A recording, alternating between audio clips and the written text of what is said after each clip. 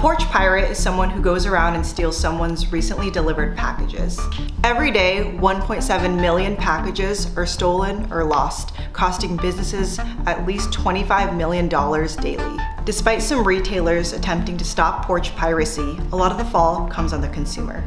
In this documentary, we're gonna follow around a gentleman who goes by the name of Tony. Before I open my packages, I like to say a prayer. We're gonna see what he does with all the packages that he steals on a daily basis.